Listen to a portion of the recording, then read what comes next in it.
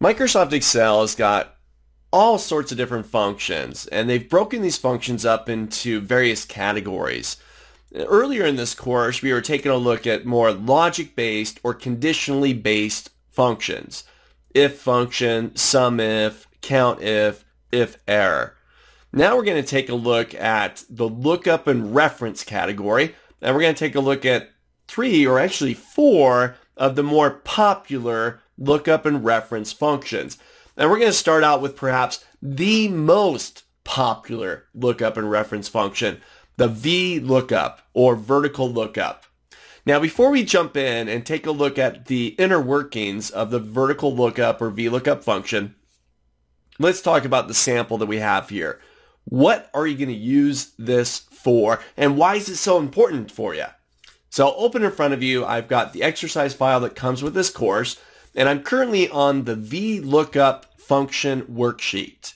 Now we're actually going to be working with two worksheets. This one and right next door, the master employee list. This is going to allow us to combine between both of these worksheets here. So first, here's the setup. So on this VLOOKUP worksheet, I've got a simple but incomplete lists. I've got some employee IDs, and I've got some samples of the vertical lookup already completed that are getting last names. Now these last names are actually contained or where I'm getting the data from is on the master employee list. If I give that one a click, here I've got the complete list. I've got a, a list here of employee IDs, last names, first names, departments, and so on. This would be considered the master lists.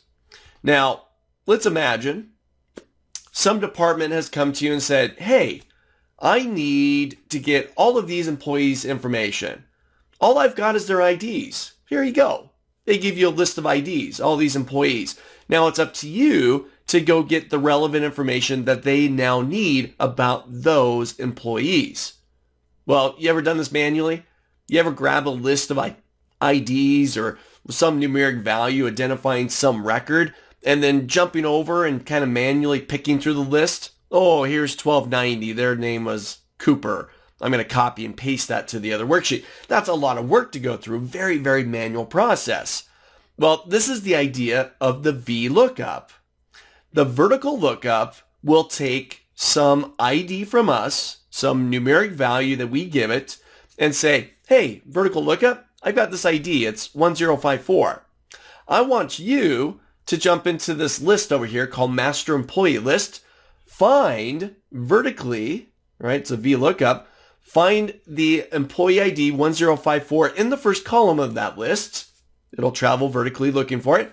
When you find it, bring the first name back to me or bring the department back to me or whatever it is that you're asking for. This is the VLOOKUP function. It's a simple lookup. Give it some value Tell it where to find that value. Once it finds it, tell it what you want in connection with that value. Let's try this out. I'm going to go into cell C3. This is on the vertical lookup or VLOOKUP function worksheet. Now, I want to get the first name for employee number 1054. So I'm going to go up to my formulas tab. I'm going to go into lookup and reference, and I'll find VLOOKUP. It's all the way down at the bottom. All right. And here's the argument window for the VLOOKUP function. So it's got four things that it wants from us in order for it to complete this task of finding the first name based on these IDs. The first thing it needs is, well, hey, I, I know you want first name eventually, but how am I going to find the correct first name for you? Well, the lookup value. This is going to be the ID, A3 or 1054. So, hey, Excel or VLOOKUP, go look for this value. It's inside of A3. Now, where am I going to look for it? That's the next argument, the table array. Great, you've given me this ID 1054. Well, where do you want me to go look for it? Well, table array, I'm going to go down to master employee list, and I'm going to grab this entire list here. Starting in A3, then I'm going to do control shift down arrow on my keyboard. This will grab that entire column and then I'm going to do control shift right arrow. I'm going to grab the entire list from A1 to I38. So we got the value you're looking for. We've now told it where to look for it. And by default, a vertical lookup looks vertically through the first column of the table array, the, the list that you just specified here. Now, before I go back to the other worksheet, the next one, col index num. Well, I'm looking for this. I'm going to find it here. What do you want me to return back to you? That's what the column index num is.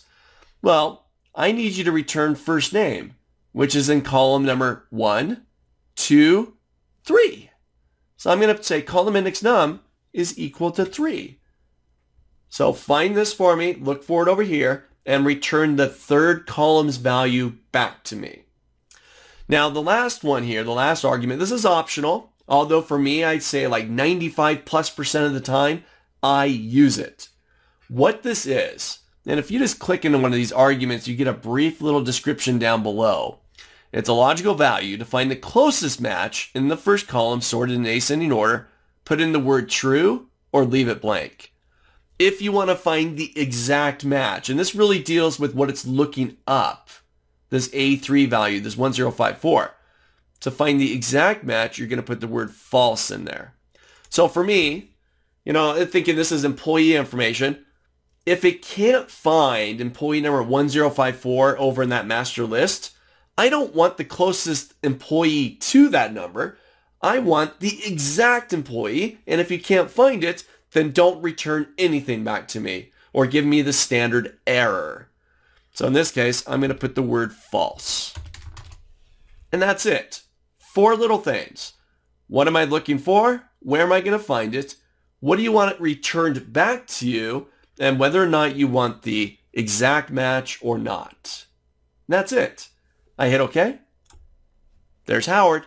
Howard Smith is employee number 1054. And if I just confirm this, master employee list, there it is, Howard Smith. I'll go back, and I'm going to finish it off. I'll grab that little box in the corner, just drag this down, and now I've got all the first names for these employees. Try this out. Open up the example file, complete the first name, jump over to department, do pay rate, complete these lookup values based on the master employee lists.